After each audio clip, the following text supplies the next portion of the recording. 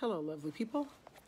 We um, are reading I Know Why the Caged Bird Sings.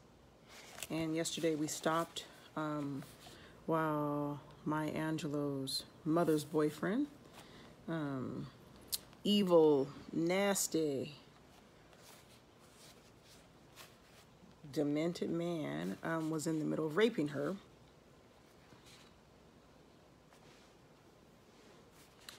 Now, this isn't going to hurt you much. You liked it before, didn't you?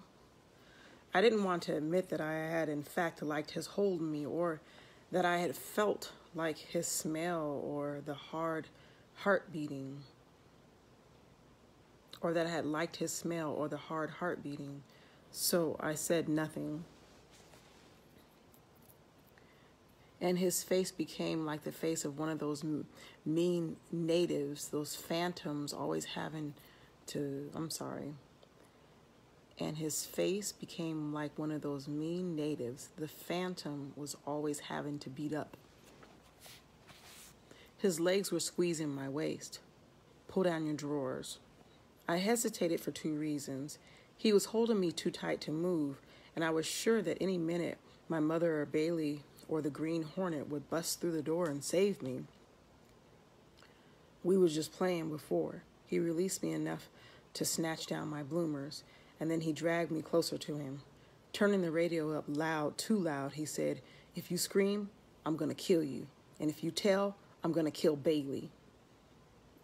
I could tell he meant what he said. I couldn't understand why he wanted to kill my brother. Neither of us had done anything to him. And then, then there was the pain, a breaking and entering, when even the scenes are torn, when even the senses are torn apart. The act of rape on an eight year old body is a matter of the needle giving because the camel can't. The child gives because the body can, and the mind of the violator cannot. I thought, I thought I had died. I woke up in a white walled world, and it had to be heaven, but Mr. Freeman was there, and he was washing me. His hands shook, and he held me upright in the tub and washed my legs. I didn't mean to hurt you, Ritie. I didn't mean it. But don't you tell. Remember, don't you tell a soul. I felt cool and very clean and just a little tired.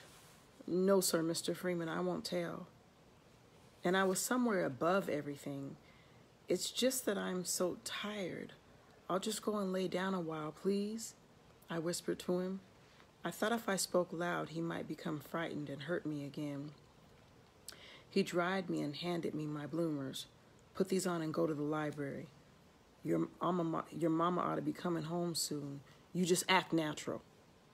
I was walking down the street and I felt the wet on my pants, and my hips seemed to be coming out of their sockets, and I couldn't sit long on the hard seats in the library. They had been constructed for children, so I walked by the empty lot where Bailey was playing ball, but he wasn't there.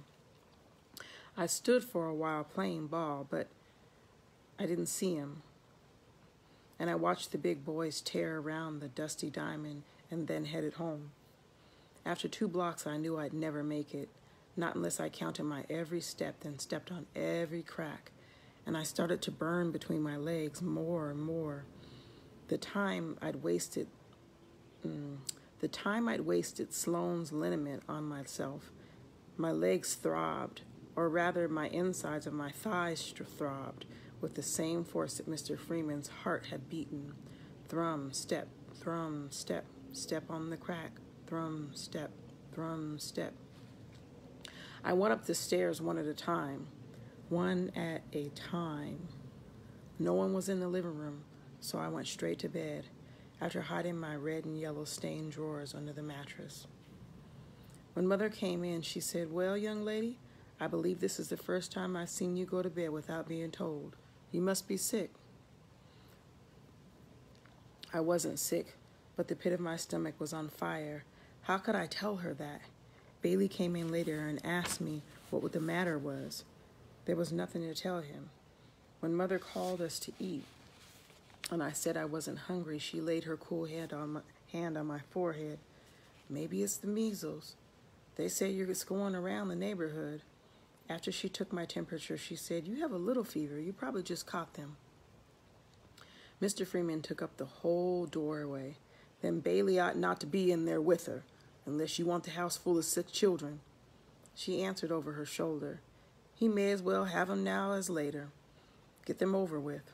She brushed by Mr. Freeman as if he were made of cotton. Come on, Junior. Get some cool towels and wipe your sister's face. As Bailey left the room, Mr. Freeman advanced to the bed. He leaned over, his whole face threatened. It could have smothered me. If you tell, and again so softly I almost didn't hear it. If you tell. I couldn't summon up the energy to answer him. He had to know that I wasn't going to tell anything. Bailey came in with the towels and Mr. Freeman walked out. Later, Mother made a broth and sat on the edge of my bed to feed me. The liquid went down my throat like bones. My belly had been. My belly and behind were as heavy as cold iron, but it seemed that my head had gone away and pure air had replaced it on my shoulders. Bailey read to me from the Rover Boys until he got sleepy and then he went to bed. That night I kept waking to hear Mother and Mr. Freeman arguing. I couldn't hear what they were saying, but I did hope that she wouldn't make him so mad that he come in and hurt her too. I knew that he could do it with his cold face and his empty eyes. Their voices came in faster and faster, the high sounds on the heels of the lows. I would have liked to have gone in, just passed through as if I were going to the toilet, just to show my face that they might stop, but my legs refused to move. I could move the toes and the ankles and the knees, but they felt like wood. Maybe I slept, but soon morning was there and mother was pretty over my bed. How you feeling, baby? Fine, mother, I said instinctively. Where's Bailey? She said he was still asleep, but that he hadn't slept that she hadn't slept all night. She had been in my room off and on to see about me. I asked her where Mr. Freeman was, and she said her face chilled, and her face chilled with remembered anger. He's gone.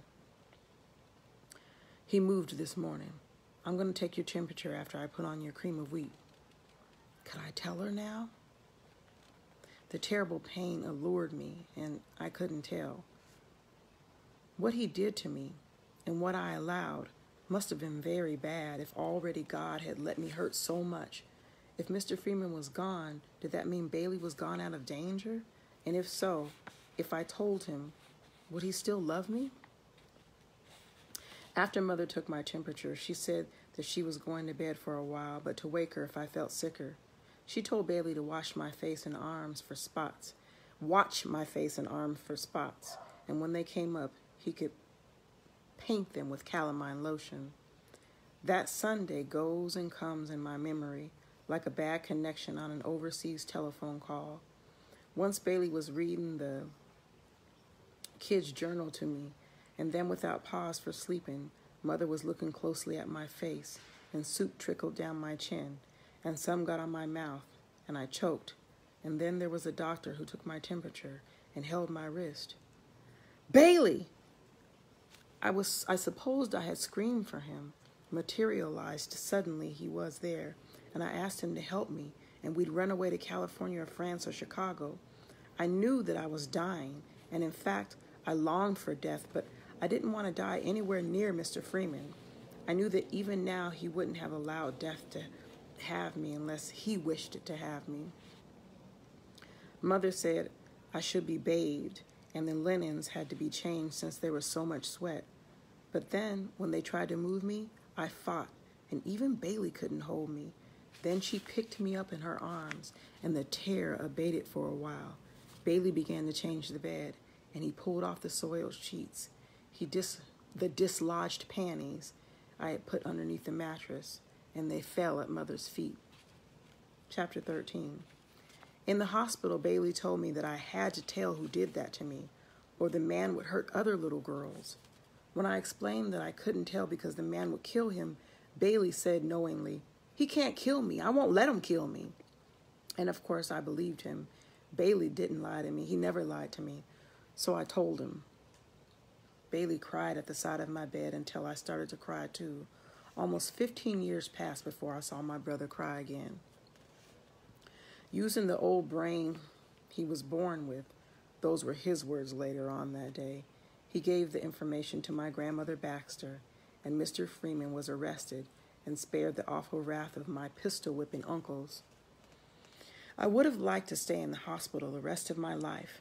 Mother brought flowers and candy. Grandmother came with fruit, and my uncles clumped around and around my bed, snorting like wild horses. When they were able to speak, when they were able to sneak Bailey in, he read to me for hours. The saying that people who have nothing to do with the saying that the people who have nothing to do become body body busybodies is not the only truth. I'm sorry, I'm going to read that again. The saying that people who have nothing to do become busybodies is not the only truth. Excitement is a drug, and people whose lives are filled with violence are always wondering where the next fix was coming from. The court was filed. Some people even stood behind the church like benches in a roar. Overhead fans moved with a detachment of old men. Grandmother Baxter's clients were there in gay and flippant array. The gamblers in the pinstripe suits and their makeup deep women whispered to me out of the blood red mouths. And now that I knew as much as they did, and I was eight years old and grown, even the nurses in the hospital had told me now that I had nothing to fear. The worst is over for you, honey, they said. So put the words in all that. So I put the words in all the smickering mouths. I sat with my family, and Bailey couldn't come to court. And they rested still on the seats of their solid, gray cold tombstones, thick with forevermore unmoving. Poor Mr. Freeman twisted in his chair to look. Hmm. Poor Mr. Freeman twisted in his chair to look empty threats over to me. He didn't know that he couldn't kill Bailey. Bailey, not Bailey. Bailey didn't lie to me. What was the defendant wearing? That was Mr. Freeman's lawyer asking me. I don't know, I said. You mean you say this man raped you and you don't know what he was wearing? He snickered as if I had raped Mr. Freeman instead. Do you know if you were even raped? He asked me. A sound pushed in the air of the court. I was sure it was laughter. I was glad that Mother had let me wear the navy blue winter coat with the brass buttons that day. Although it was too short and the weather was typical, St. Louis hot, the coat was a friend that had hugged me in this strange and unfriendly place. Was that the first time you, the accused, touched you? The question stopped me. Mr. Freeman had surely done something very wrong, but I was convinced that I had helped him do it. I didn't want to lie, but the lawyer wouldn't let me think, so I used silence as a retreat. Did the accused try to touch you before the time, or rather, the time you say that he raped you? I couldn't say yes and tell him how I had, he had loved me once, and for a few minutes how he had held me close before he thought that I had peed in the bed. My uncles would kill me if grandmother and grandmother Baxter would stop speaking to me very often if they thought that I was peeing in the bed. And all those people in the court would stone me as they had stoned the harlot in the Bible. And mother, who thought I was such a good girl, would be so disappointed if she thought I liked it. But most important, there was Bailey. I had to keep a big secret from him. So she's speaking about how, you know, just the confusion of being hugged by Mr. Freeman and um, yet being hugged softly before he raped her.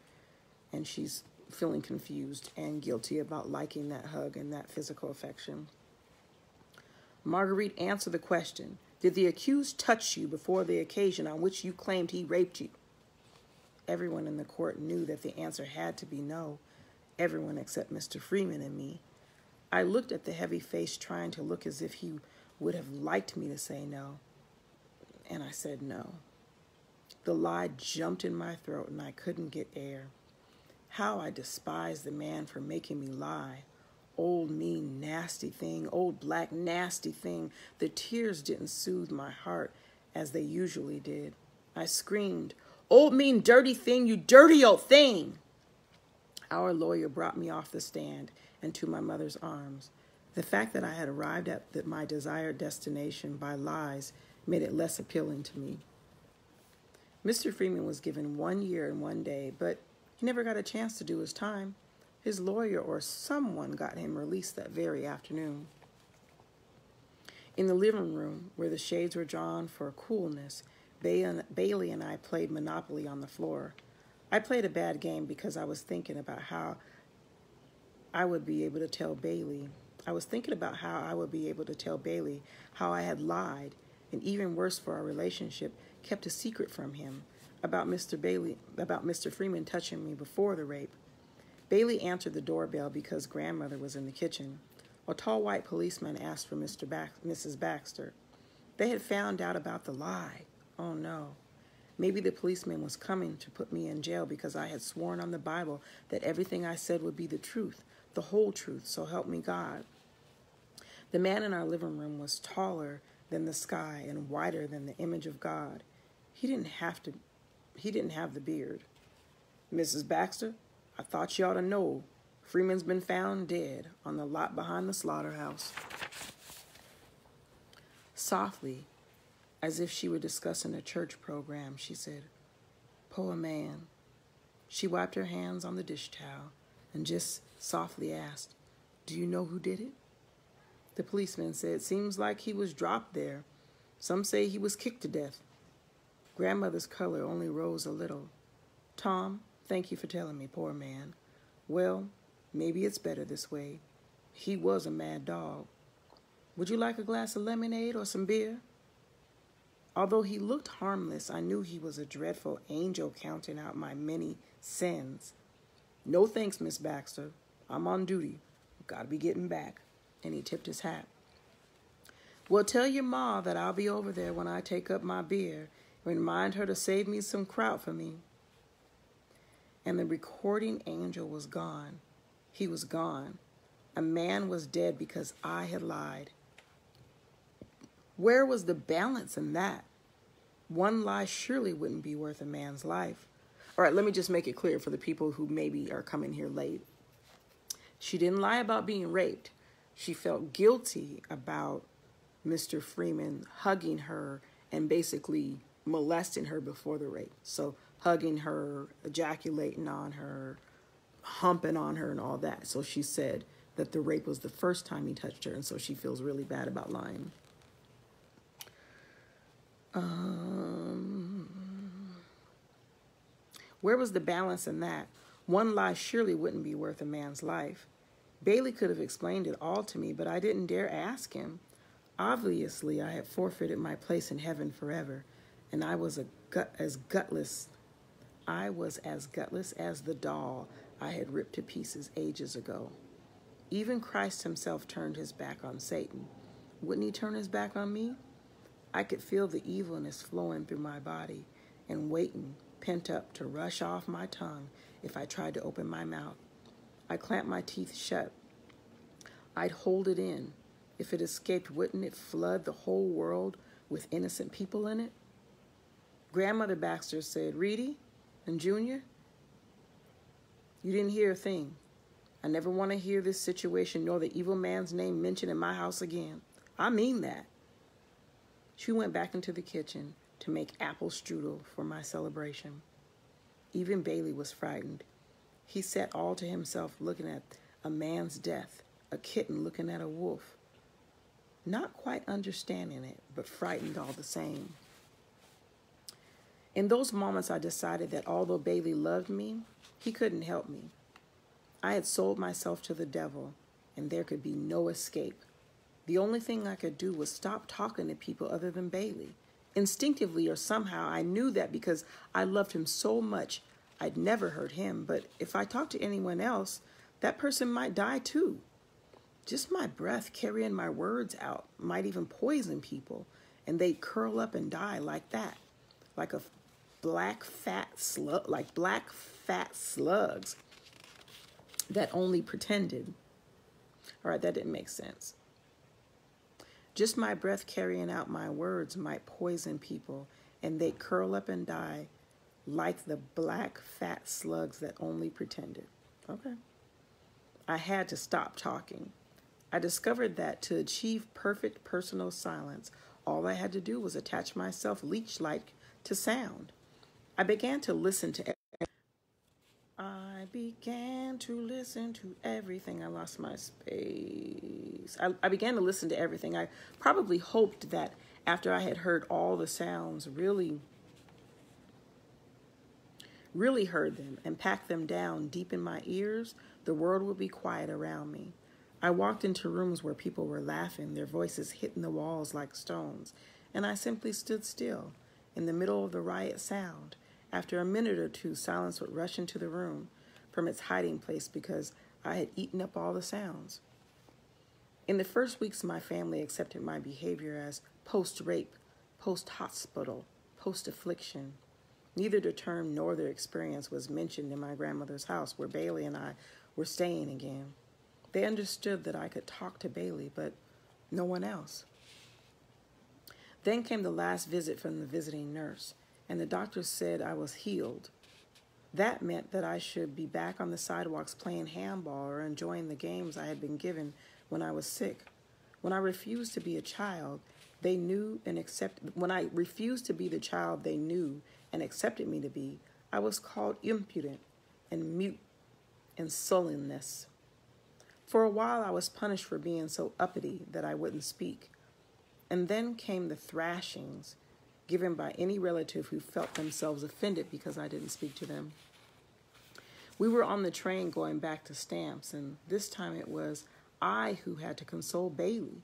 He cried his heart out down the aisles of the coach and pressed his little boy body against the window pane, looking for a last glimpse of his mother dear.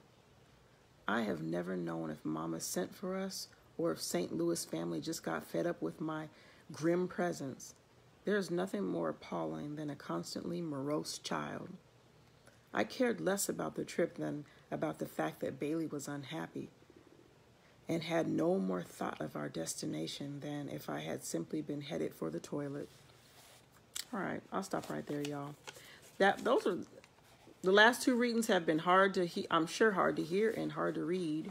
Um, and I hope I don't know, I guess hope for the adults who are listening to, I don't know, just have an understanding of a child who has been harmed and what the manifestations of that might be um, that come out in the children. And uh, I feel sad that she was beaten for not talking instead of like people trying to understand how that might be a manifestation of her harm. And um, and yeah, and then sometimes things never get told, right? So then when children make sudden changes of personality, then we have to pay attention to that and and lovingly take care of that as opposed to punish them or be offended for not being spoken to. At any rate, this is I Know Why the Caged Bird Sings, and looking forward to um, reading to y'all tomorrow.